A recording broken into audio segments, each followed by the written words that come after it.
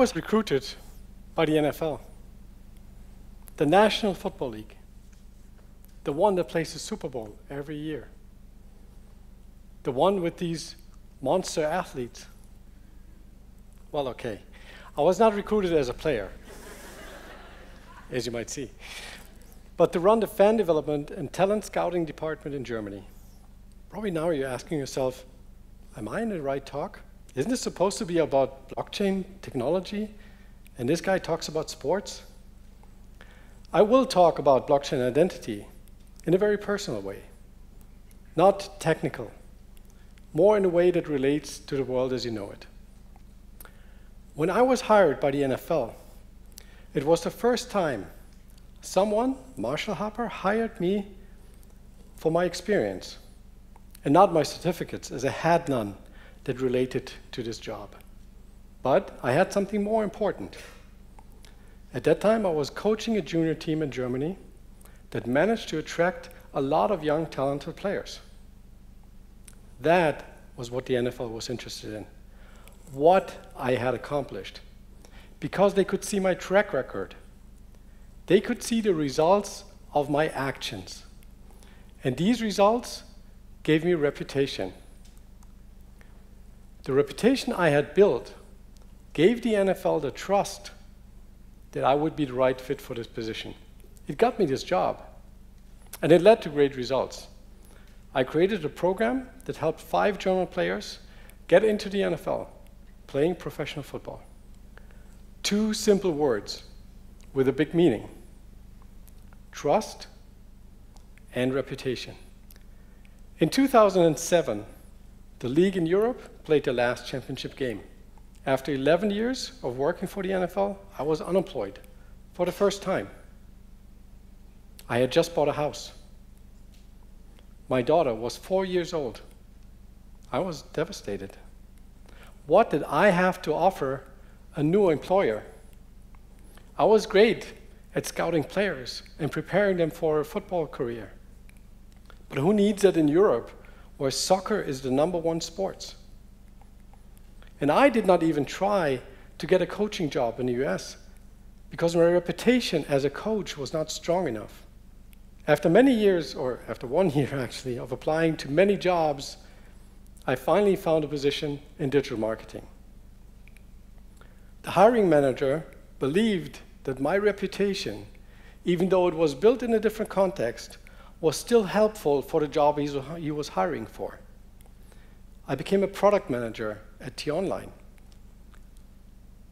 And it was a huge change and challenge for me to work on virtual topics after I worked with athletes the whole time. But the hiring manager was correct. My coaching skills helped me to create a team out of online news editors. And we exceeded every goal that was set for us.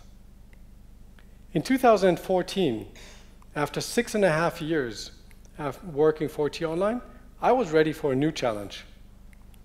I felt confident. I had built up enough reputation in different industries now that I could take on any position. So I moved to Switzerland. I became the head of sales for a mobile banking startup. And that's where I learned about blockchain. Blockchain finally mentions it. Okay, so here we go. A developer, Roberto Barbosa, he explained to me the technical novelty of this new, of this, of Bitcoin.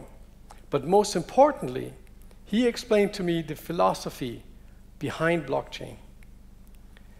And this really opened my eyes because blockchain philosophy has two fundamental elements I found so important in my career. It's trust and reputation. A blockchain is actually just a database. The beauty, though, is that the outcome of every transaction is stored in many different places at the same time, which makes it impossible to change data in a fraudulent way. If you take the word transaction and delete the first part, it leaves you with action. So every action I do on a blockchain gets stored and is unchangeable. If you remember what I said about the NFL when I got the job there, action leads to reputation. A blockchain gains more reputation the more action it stores. Just like the more positive outcomes I show in my career, the more reputation I gain in my job. But it is important to understand that the blockchain is digital. Digital means something is either one or zero. There's no other option. In case of reputation, this means it either happened and I can prove it through the blockchain, or it never happened. But it's also important to understand that reputation on a blockchain is not like a rating system as we know it from many websites today. It has no sentiment. It is objective. And therefore, we can compare one person's reputation with another person's reputation. But let's jump into the future, let's say 10 years from now, and let's see what this new technology will help us with. Transportation will be done by driverless cars. They take us anywhere. And these cars don't even need an owner. We pay the car with a cryptocurrency. And the cars use the payment to pay for electricity and for uh, maintenance. They pay themselves. We buy goods on digital marketplaces directly from the people that create the goods. The marketplace itself just provides the infrastructure for the people to do business on top of it, but it does not interfere with that. But something else affects the price of a good reputation. If the person buying has high reputation, he's more trustworthy, which means the deal or the transaction on a blockchain is more likely to go through without trouble than with a person with low reputation.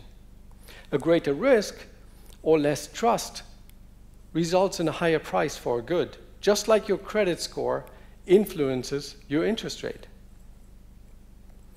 In this new future, we don't say we go to work anymore, because we can work from anywhere. And for anyone. Sometimes we don't even know who we work for.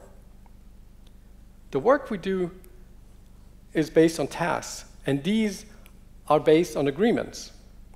In the blockchain world, an agreement is called a smart contract which is computer code that simply defines if this happens, then do that.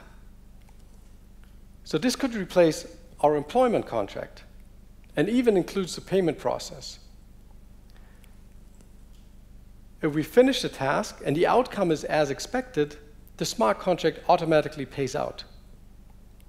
If the outcome is not as expected, the smart contract has rules to deal with that situation. As every product we use is built on the blockchain, every action we have is stored. And all the time, we generate reputation on the blockchain. And our identity is the sum of all the reputation we gain over time. Blockchain identity is what now allows us to really trust the person we deal with because we know it has derived from actions that have really happened. It is possible to gain the same reputation through actions as it is through studying in this future. Maybe we even believe in these actions more than in the reputation based on certificates. Nobody knows the creator of the Bitcoin blockchain. We only know him as Satoshi Nakamoto. But still, we believe in him because he has proven what he wrote in his white paper can be built. Vitalik Buterin, the creator of the Bitcoin, of the Ethereum blockchain, has dropped out of college. If he would have applied for the job to create a blockchain, probably nobody, nobody would have hired him. If I'm looking for a job again in 10 years, probably I get jobs offered based on my skills. The skills I have proven to be correct because the blockchain shows them.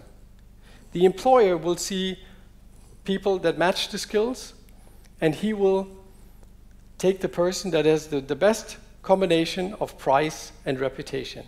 It will look like a matching engine for all of us. Maybe we're not even 10 years away from this. This is not as futuristic as you might think. Today, a lot of blockchain projects are open source, which means the code they develop is openly accessible. Developers join these projects because they see the code, they can read it, and they believe in the vision that this project wants to create. They even get paid in the cryptocurrency of this project, which has the benefit that if the developer creates value for users, then the cryptocurrency will generate more value. The developers believe in this vision, which creates a like-minded culture of people. But let's compare this to the hiring process as we know it today to see the real difference. A job description is posted. The hiring manager receives many, if not hundreds, of applications. Then a very rough filter comes to play. Has a degree on one side, has no degree on the other side. Has, uh, on the other side, maybe there's a third pile, has a nice letter of application. Then the line manager receives the approved pile and goes through with a very subjective filter. So finally, he finds five to 10 candidates he wants to interview. I think we all know this process. So this takes around two months to find a person for a job.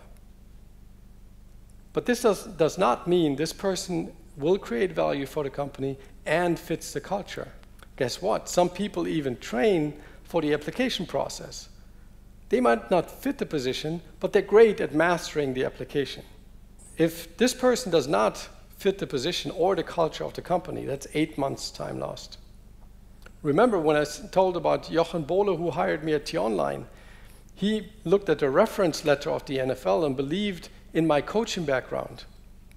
Actually, I could have easily forged that. So there's no truth in it to some degree.